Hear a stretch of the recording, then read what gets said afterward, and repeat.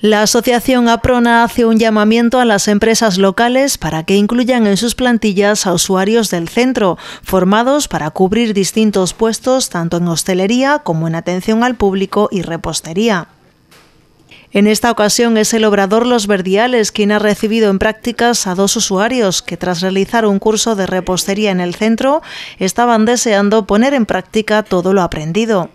Desde APRONA animan a las empresas a que formen parte de este programa de inserción laboral. Desde Fundación APRONA estamos haciendo un curso de repostería y panadería, eh, una fase teórico-práctica que ya la hemos finalizado en las instalaciones de, APRONA con una cocina totalmente equipada y luego era una fase de, prácticas y nos teníamos que poner en contacto con empresas locales, con obradores de, Estepona. Nos pusimos en contacto con, Sergio, el dueño de, los verdiales, y estaba encantadísimo de poder colaborar con, con Fundación Aprona.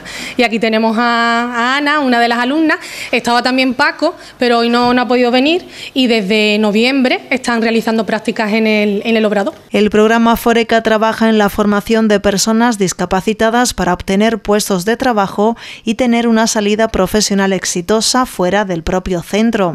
Una oportunidad de demostrar su valía y de crecer de forma profesional y personal. Solo quería hacer un llamamiento a las empresas de la localidad pues para que colaboren con este tipo de proyectos. Desde Fundación Foreca llevamos desde 2017 pues interviniendo con el colectivo de, personas con discapacidad intelectual en todo lo que tiene que ver con el tema de, empleo, empleo con apoyo, desde formación, prácticas de empresas y entonces pues lo que hacemos es un llamamiento a las empresas como, como los verdiales a que colaboren con nuestra causa. Ya son varias empresas como Carrefour o Restaurante El Frenazo las que cuentan en su plantilla con empleados que vienen de Aprona. Hace unos meses visitábamos Carrefour, donde realizaban sus prácticas varios usuarios.